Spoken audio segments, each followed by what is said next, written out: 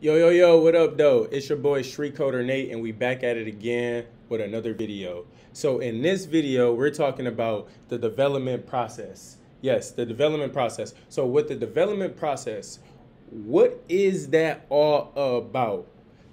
Let's let's let's uh, rewind. Typically, when people come to me and they say, "Nate, can you teach me how to code?" I'd be like, "Yeah, I can teach you how to code," but in my in the back of my mind, I'm like, they don't really understand that coding is just a really general term. That there's specific avenues that you can go down when you're coding. And so the way that I say that without saying that is uh, is there an application in your life that you were always that you always wanted to build. Like you said that you said that if you ever had the skills to design and code is there application that you will want to build? And so then that gets people to start thinking. And then if they can't really find an idea i say okay well then about the what about the uh, applications that you use now? What are some things that you hate about those applications? Like just you wish you could change. Let's let's focus on that. So if you if you can't think of ideas I bet. Focus on fixing a social media. Cool. Or a video streaming platform. Or e-commerce platform. Something. I bet. So, but what if you are cool with coming up with ideas? Then bet, bet, bet. You can start with ideas. You just you just that idea person. You creative. You like, man, if I just had that skill with coding, if I just knew how to build this stuff though, I could just take the heck off. I don't know why I said heck. You know, I just I'm trying to be myself on the channel. It's fighting a lot of, you know, you gotta not cussing, yada yada. I'm like, I'm being myself, the street coders. Let's get it. Okay, so anyway, we getting back on topic. Let's just cut to the chase. The steps in the development process. What is the development process? So say that you have an idea that you want to create well, most people when they start when they know how to code, they say, "Okay, what code do I need to grab?" And I'm like, "Bro, don't think about the code. Stop thinking about the code. First think about the idea. What are you trying to create? What are you trying to put out there?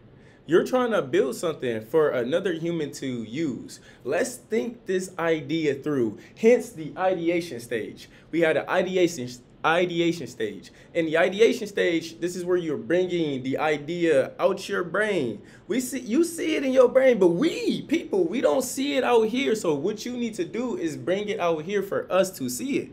So in this ideation stage, you're bringing it out here. You're planning you're planning out all of the different things that you want to offer, the services that you want to offer, uh, the colors and all of those different things about the service. Actually, not even the colors. We're just talking about the service. This is really just business logic. Like, what is the idea that you want to do? Let's see. For an example, on this web on this uh, channel, we're going to create a Instagram scraper. So let's use that for the example as we go through these seven steps. Bet. So the Instagram scraper, ideation stage. What do I want to create the Instagram scraper for? Well, I know a lot of toxic people in my life, so I know some people would love an Instagram scraper in order to, you know, track somebody without logging into their own Instagram account. So, what would be the stages of creating? Okay, first, okay, well, yes, what would be the stages of creating an application to follow somebody and get some data up on them on their Instagram account without even logging into your account? What would be a what would be the stages to do that? So that's the idea, right? We got to bring that idea out of our head. We got to make it creative. We got to create that idea. We got to take that what we just thought, that thought, and we got to bring it to life. This is the point of coding. So we take that idea and we start bringing it to life. How do we bring it to life? We start to describing it. Okay, so Instagram scraper, what do I want to be able to do? I want to be able to go to somebody's page. All right, so I need to be able to log on to Instagram and go to a page uh, whoever I search, whoever name I put in, I need to be able to search. Therefore I need an uh, input box in order to put in a, a, a search item, a, a, person's username, right? I need an input box. Cool. So now you're starting to think, okay, so I need this input box, uh, a search item uh, to be able to search for a person. Okay, now that you search the person and you got their data, what, what data do you need out of that? What data do you want to make sense out of? You just got all this data back after you searched them. What do you want out of that? What do you want to make sense out of that? Okay, so if you stalking or somebody, well, let's see, um, likes. Let's see how many likes he's getting on his last page or something, you know? I don't know. Or comments or who's all commenting on his page. Okay, cool, cool, cool. So that's what we do. So we go grab all the data and when the data come back, we go we all we want is the number of likes and the people who liked it and the amount of comments and the people who commented in their comments.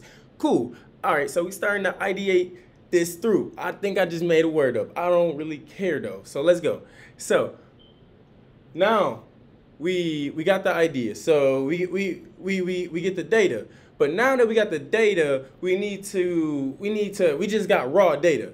And humans, we don't really like raw data. It just look ugly to us. So I mean, computers they don't really care. And programmers like me, man, I use the terminal, and that's just a black box. Like when you start up your computer, you use like Mac OS or Windows 10. I use like that black box called the terminal, and you just write commands in it, and it just got black and white stuff, and you can do literally everything that you do on a regular computer in the terminal. But y'all, regular people don't like that stuff. So what we do is we create this thing called a GUI, a graphical user interface. Interface, sorry, a graphical user interface. And what a graphical user interface is is like it's what you think is a website. It's what you think is an application. It's the front end. It's the what the user interacts with. Is when you go to facebook.com and you see all the colors and the pictures and whatnot, that's the graphical user interface. And so what somebody does is they got this back end that creates all this data and pulling that like I just described before. And then they create this front end and they connect it to the back end so that you don't have to see that all that stuff is going on and you create the front end on that. So the front end now, so now what we just did was we just described the ideation. We just described all the services and pretty much what is called the business logic.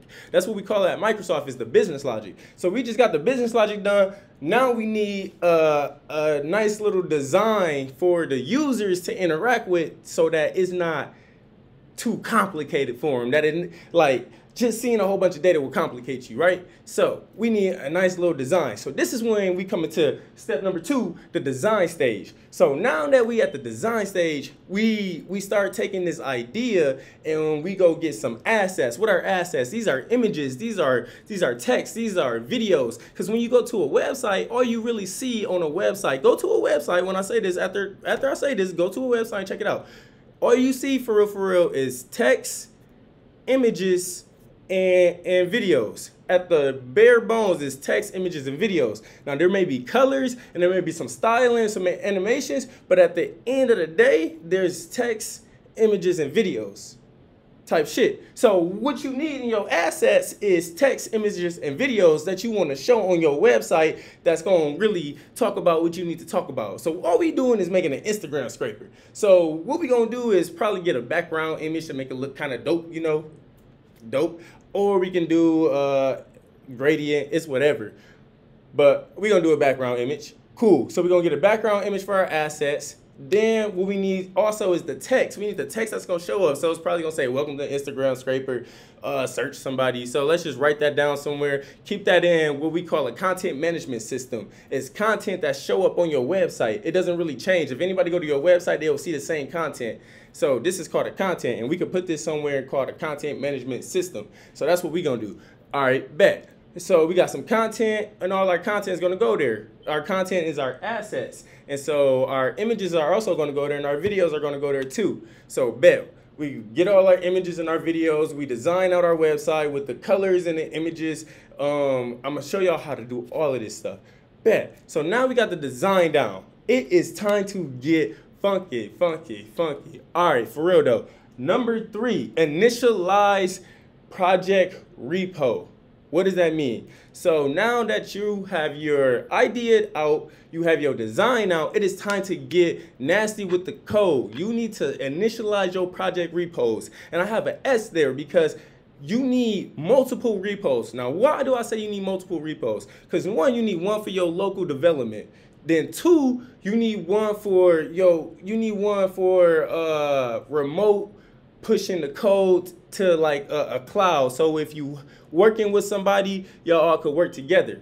That makes sense, right? Like GitHub. Bet. And then three, when you push into like a remote server that's gonna serve your application to the whole wide world, or a remote server that's like a testing environment. So you need to set up uh, all these repositories. So that's number three. Once you set that up, and what I mean by setting it up is mean like set them up, connect your local to all of them, and then put like in your local files, create a like a backend server, and just set that basic server up that can just uh, serve a what up though once you uh, go to localhost slash or localhost um, colon 3000 slash home or without home or just slash and it'll just say what up though or hello world in the olden days but it's the modern days so we say what up though bet if you can get an application like that push that code to your remote servers have it being served out to the world on maybe just a, a bs app a bs domain like heroku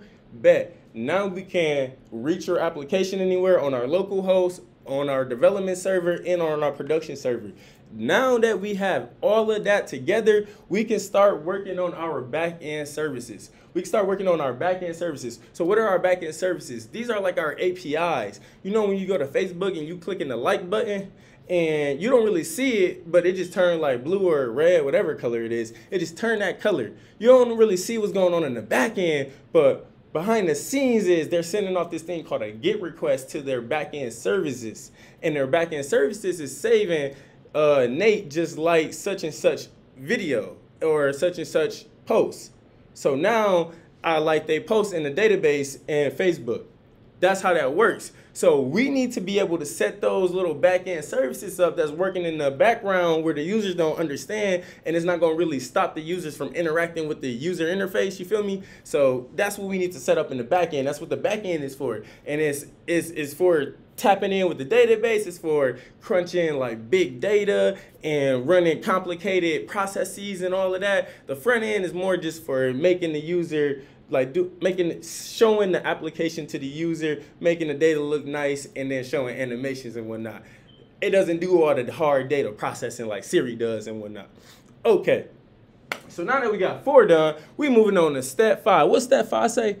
Create UI to connect to the back end. Okay, so now we got our back end services working all right. We can connect to them using like something like Postman, which help you test your code and you test your services. We're gonna get into that though, but we, we, we can connect to it, but our users, they don't want to just see some raw JSON come back. They want to see a nice little user interface because to them, an application is the user interface. So we need to tap in and create this user interface. Well, boom, bada bam. Number two, we created the design. So now what we go do is code up that design. We go code up the front end design for this idea. For all these services we just created, we code up a front end design and then we connect different button clicks to all these services in the back end.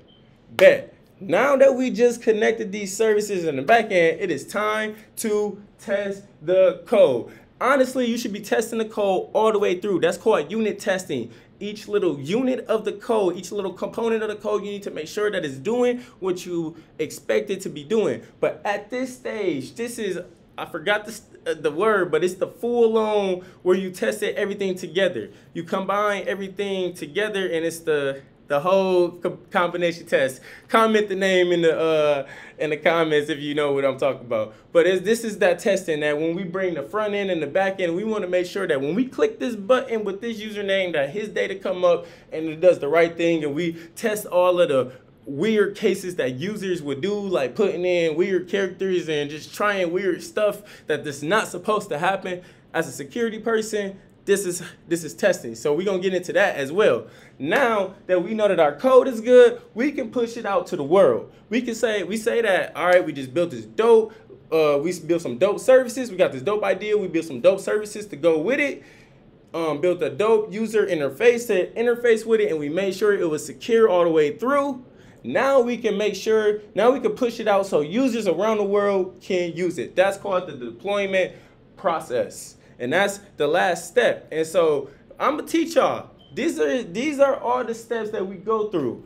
And actually I didn't talk about the deployment process. Let me get a little bit into that. So in the deployment process, you're putting it out on these things called servers. These things called servers. So people are gonna come and they're gonna say, let's say for me, I got a website called natebaker.me. Uh, and I, uh, when I say natebaker.me inside the browser, what happens is my computer uh, makes a request to another computer called a server. And that server, what it does is, what my computer is saying is, uh, what it's requesting is for the index.html file. The index file is the home page of any file, any pretty much website out here, unless somebody just changed it up to be fancy. But most times when you go to a website, when you write that name in the title, what it's doing is requesting an index.html file for that domain, google.com, natebaker.me. That domain is requesting that index.me file or index.html file for that domain and then what happens is the server goes and finds that index.html file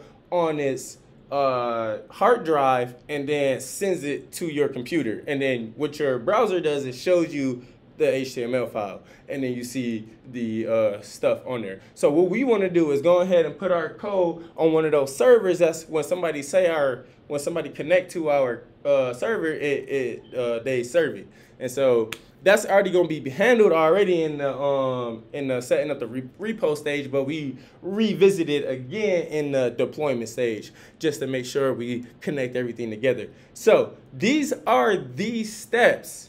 When I create applications, whenever I have an idea, whenever I have a feature to create at Microsoft or a bug to fix, this is the steps that I go through. And so what I'm going to do is now go use React, um, MongoDB, Node.js, and Express. This is called the MERN stack. I'm going to use these technologies and I'm going to create a bunch of different applications using some dope APIs. And we're going to follow these steps. And we're going to make these applications over and over and over again. You're going to be able to follow these steps and get this process down. And then you're going to be able to replicate the same exact thing. It's going to be a dope. It, it's, it's going to be dope all around. I'm excited. I hope you guys are too. Let's get it. Let's go. Peace out. Wait a minute. Follow your boy, subscribe, share my videos. Who y'all know that's lit like this, that's teaching like this? Come on, y'all. Share my videos and let's get it. We on to the next one. Peace out.